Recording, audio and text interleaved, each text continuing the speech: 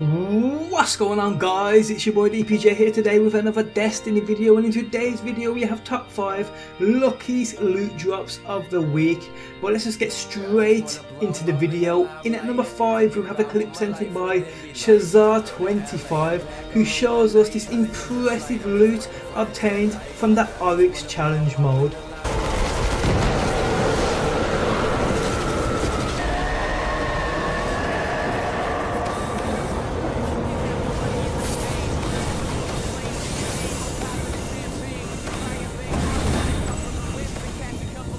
In at number 4 we have a clip sent in by Nero Tiger who used one 3 of coins and received 2 exotic engrams from an Iron Banner game.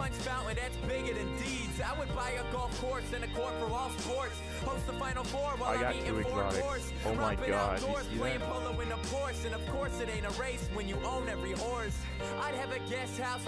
In at number 3 we have a clip sent in by Javexes. Now I apologise if that's not how you pronounce your name. This dude shows us the loot obtained from a strike.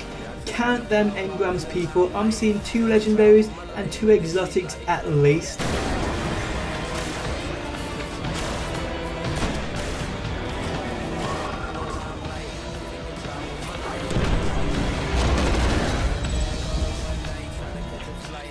Done. The Brotherhood is broken.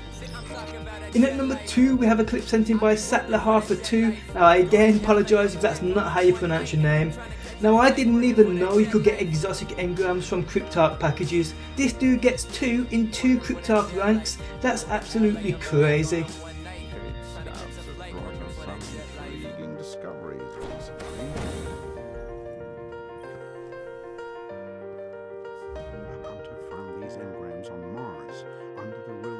Wanna wake up to a butler with a joint roll for me to help me head upwards. While I clear my head, I wanna discover that. In at number 1 we have a clip sent in by DSE Daily Smoker. Now watch this people. He finishes his Sparrow race but is waiting for that 6th place to finish.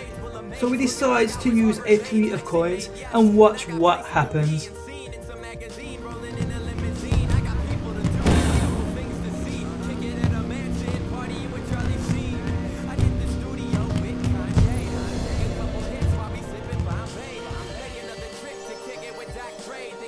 But guys, that is the end of my top 5 luckiest loot drops of the week. If you did enjoy the video, if you could leave a like, I would appreciate the support. Thanks for stopping by as always, and peace out until next time. Peace! We all on YouTube every damn day, watching these vids of the brand new games. Vid after vid, many are the same. That's why you gotta go and find DPJ. Destiny gameplays, weekly snipes. Heavy uploads gonna have you a hype. Started in the UK, now he's worldwide. DPJ, go and subscribe.